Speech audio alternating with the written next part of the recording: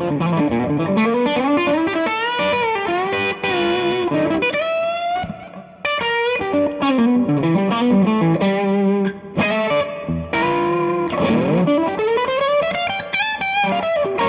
this is Brad Jackson with Jackson Ampworks, and I'm here in LA today with Josh Smith uh, to introduce and demonstrate our new amplifier, the El Guapo.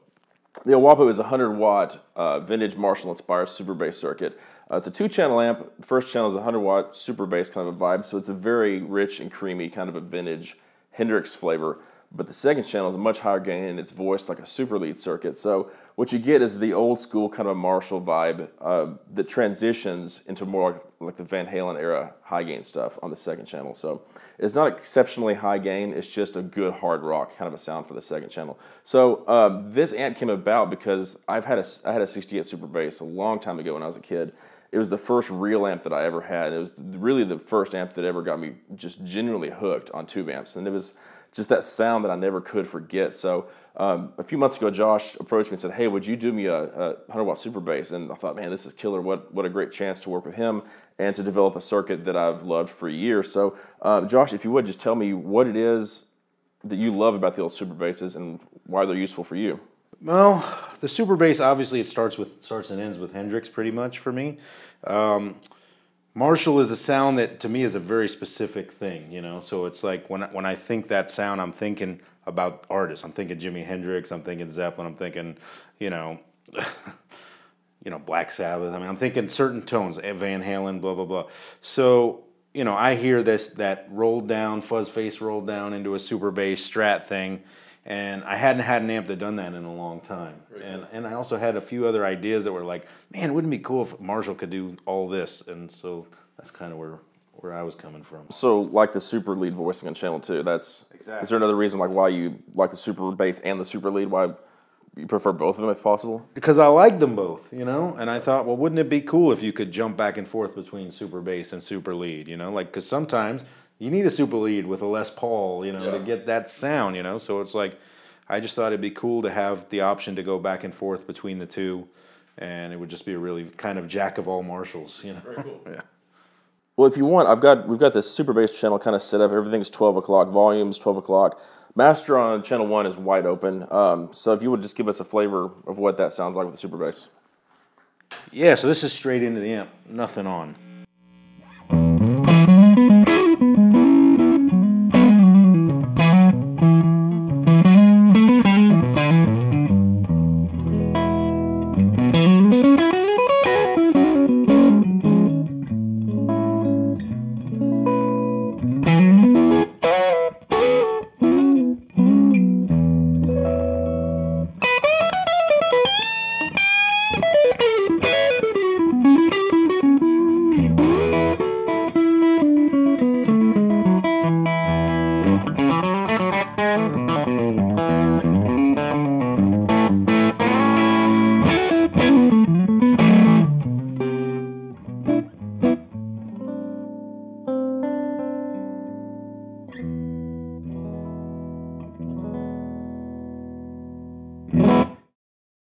That's what I love about the Super Bass channel is that it's really rich and clean, and it has this warmth to it that you don't typically get on like multi-channel high gain amps. Like you, yeah, no, a lot, a lot of like multi-channel amps, they try to get super high gain on some stuff, but the the clean channel they almost go like Fender Twin kind of clean, so that they don't. To me, the clean channel doesn't fit with the dirty channel. That's the super lead for me like just kills it. No, and that's the thing about Marshall clean compared to Fender clean. It's like yeah, when I'm playing a Marshall, I don't want scoop mid, yeah. clean, clean, you know, blackface thing. I want broken glass Jimi Hendrix, yeah. you know, 6550s or EL34 breaking up, you know. Yeah, and that's that's what we just heard for sure. Cool. You mentioned the fuzz face. Do you have one you can throw in real quick? We can Absolutely. I have a really great one. So let's hear that.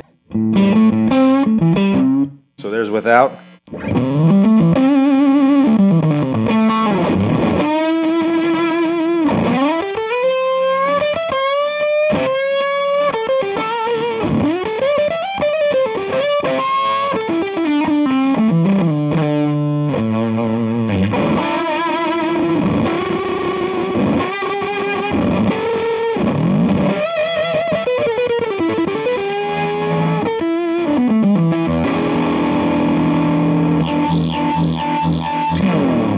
Had to turn the vibe on for That's awesome. Very cool.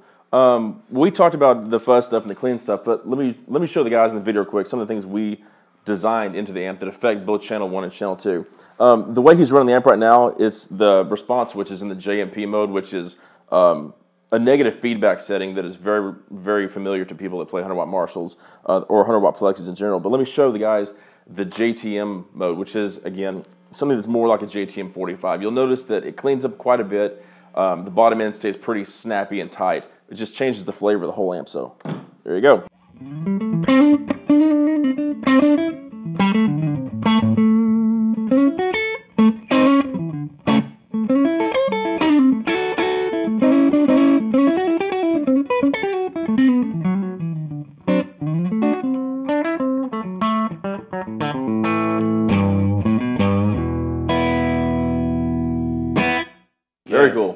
Cool. JTM 45 ish. Okay, so we did one third mode because we always try to give people just a little bit extra. So we have the JMP for the 100 watt Marshall setting, and then we have the JTM for like the JTM 45 setting. But we put a position in the middle called JXN or Jackson, kind of selfishly.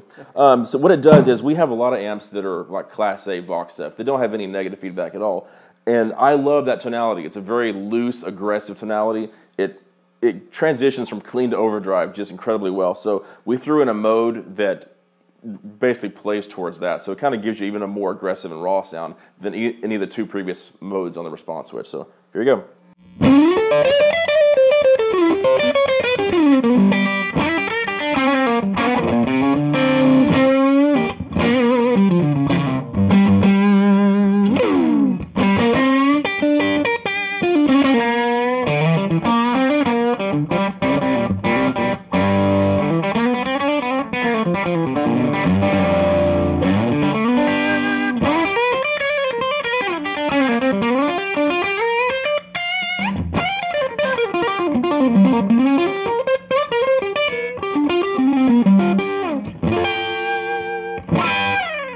Very good. Love it. Okay, so I'll throw you back in the JTM, or sorry, the JMP mode. And I want to show you something we did. Um, on the Super Bass circuit, uh, it's a very dark voice circuit, which is why guys like Hendrix and Doyle Bramhall love it because they play single coils a lot. So it plays, uh, single coils play really well with a Super Bass circuit, whereas maybe a Les Paul might be a little bit too dark of a guitar to put in too dark of an amp. So what we did is for guys that want the option, we put a three position bright switch on each channel. So in the setting that it's in right now, the middle position, the bright switch is off. But um, let me show you B1 or the first bright switch position. There we go.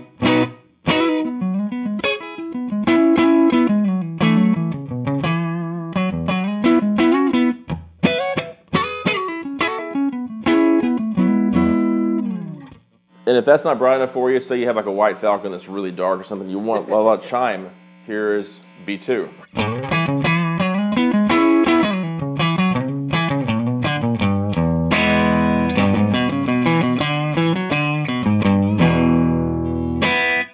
Okay.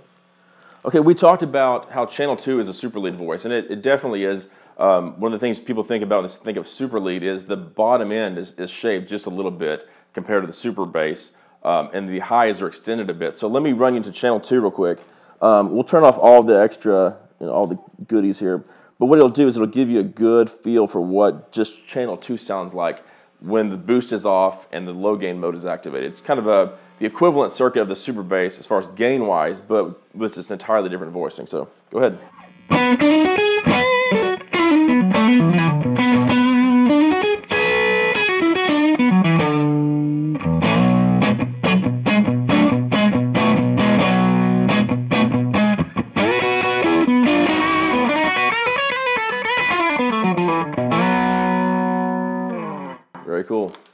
Again, it's just that sounds really yeah, leady. that's just cool to me. I love that sound. It, it's really flexible. And if we were to game this thing up, I mean, I'm not you're not like a Van Halen player, but if we ripped it wide open on channel two,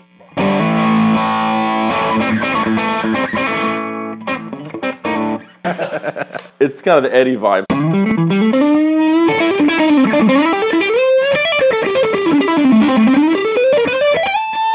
Fast as I go. yeah, that's see that to me. That sounds like you throw a fuzz face with that, and that's just Eric Johnson. That's awesome. So, but what I'll do is I'll put the gain back around 12 o'clock on channel two. We have two switches that affect channel two only. Um, one is a normal and a boost mode, which will be foot switchable in the production version. And what that'll let you do, it's just a good even boost of gain. So if you want to take a solo, it lets you bump the gain a little bit. The second switch is a high gain, low low gain uh, voicing for that channel. Currently, you're in the uh, low gain voicing with a boost off. So let me just throw the boost on real quick. Give me a, a core sound.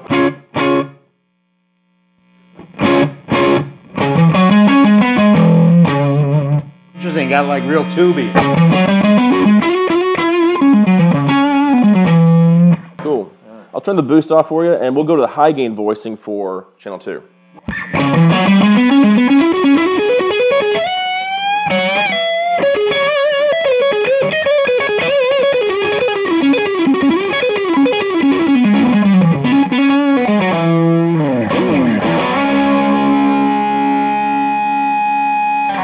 Okay, and this is where things get crazy. You can put the high gain voicing with the boost. What we'll do is throw them both together and see what we get. Go for it.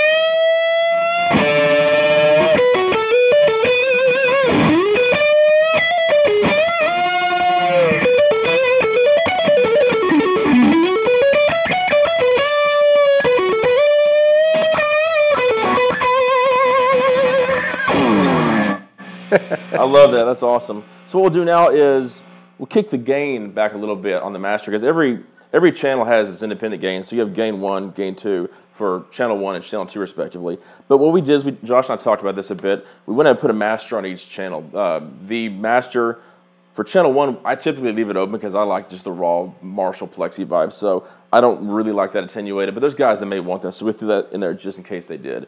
Uh, second channel, you're probably going to want to attenuate that a little bit with the master. That way you get a good clean sound with channel one, jump it to channel two, and you have kind of a equivalent volume. So let's hear uh, channel two right now.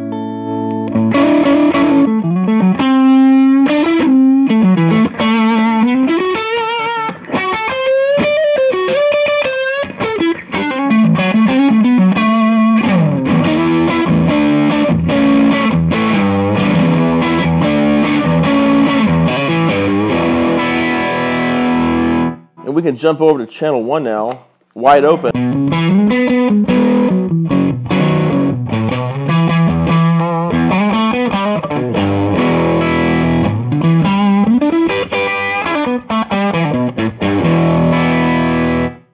So what we can do now is go from channel one to channel two and having control over the volume of channel two. Um, we've got a foot switch on the floor that you probably can't see, but channel one and channel two are foot switchable. So what I can let Josh do is just play a little bit on channel one and then just jump back and forth to channel two to, for different higher gain voicings. And you'll see the light change in the front panel. It goes red when it goes to channel two, so you'll know what he's doing. Yeah, I like flashing lights, and most people seem to. So here we go.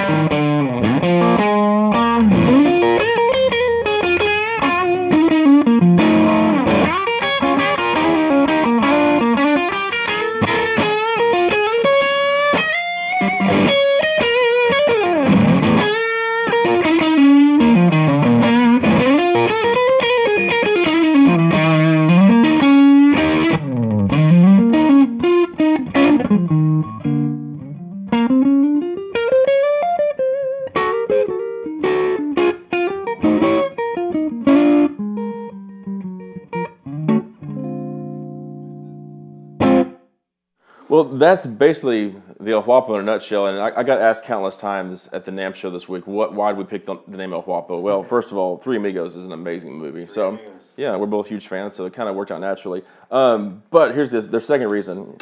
Exactly. the second reason is this uh, El Guapo starts with EL, and this amp uses EL34 tubes. So, and it also, you know, Hot Rod and Marshall channels are very much a SoCal kind of a thing. They kind of started here in the 80s. So, just the whole Spanish influence there, plus the EL34s, just made just kind of made it a cool name for us. And it, I like names that are you know not so serious and you know Yeah, it's funny. yeah let's let's be fun. If we can't have fun, let's not do it. Plethora of tones. Plethora of tone. Yeah, that's the hashtag for this amp. So that right there is the is the El Guapo from Jackson Ampworks. Thank you, Josh Smith, for being awesome, helping us get this going, and for just shredding through it. Thank you much. Thanks, Brad. Yeah.